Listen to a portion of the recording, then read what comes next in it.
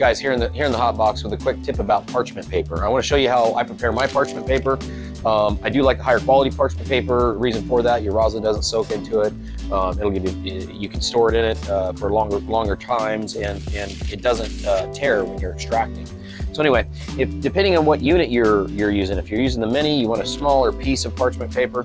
Um, I'll take it and I'll just slip it right across and have me a small piece. I just fold it right in half and it's a perfect piece for the mini there.